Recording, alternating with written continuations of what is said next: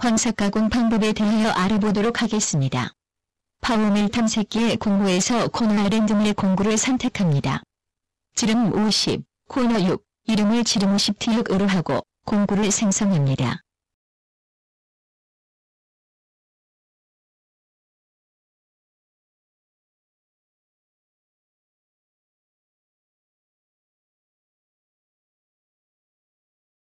메인 toolbar에서 가공 패턴 아이콘을 클릭하고 raster 황삭 모델 아이콘을 선택합니다.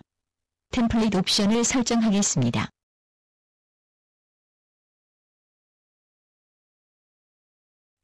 step over 값을 20으로 주겠습니다. step down 값을 10으로 주겠습니다. 가공 방향을 임의로 지정해주고 다른 모든 값은 초기치로 놓고 적용을 하여 toolpath를 생성합니다.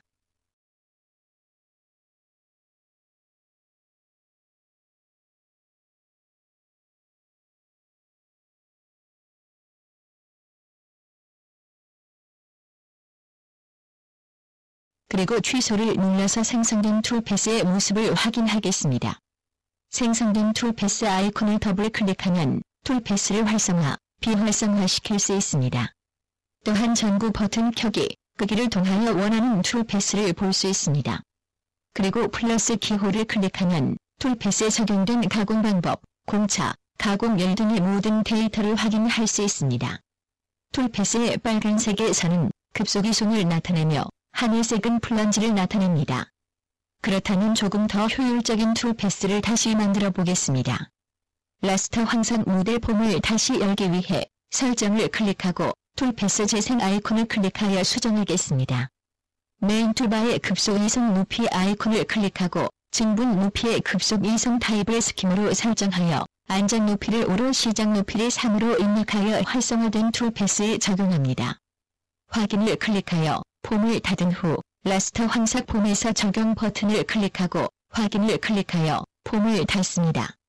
이제 공구의 이송의 하늘색의 plunge는 각각의 이전 가공 지점에서 증분값의 시작 높이로부터 시작되고 빨간색의 급속 이송 또한 상대값의 안전 높이로 적용되었습니다.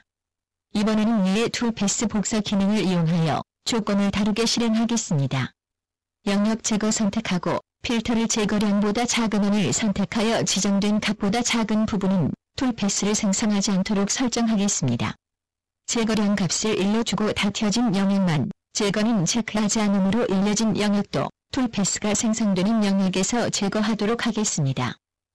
toolpath를 확인해보면 지정했던 공구 지름보다 작은 영역은 toolpath 계산 시 걸러져서 toolpath가 생성되지 않습니다. 이번에는 toolpath 시뮬레이션은 파워밀의 ViewMill 기능입니다. ViewMill은 toolpath가 실제로 가공하기 전에 어떻게 가공이 될 것인지 3D 그래픽으로 체크할 수 있도록 해줍니다. 활성화된 toolpath의 오른쪽 버튼을 사용하여 toolpath 시작점부터 시뮬레이션 기능을 실행하고 재생하면 사용되는 공구와 함께 시뮬레이션을 실행합니다. shading 공구 보기 아이콘을 통하여 공구를 숨기게 되면 공구가 안 보이게 되면서 더 빠른 속도로 진행됩니다. 시뮬레이션이 완료되었으므로 ViewMill toggle 아이콘을 클릭하여 ViewMill을 종료합니다. 이제 저장을 위하여 메인 toolbar 파일 메뉴에서 프로젝트 저장을 클릭하여 바탕화면에 스피커 언더바 core라고 이름을 붙여 저장합니다.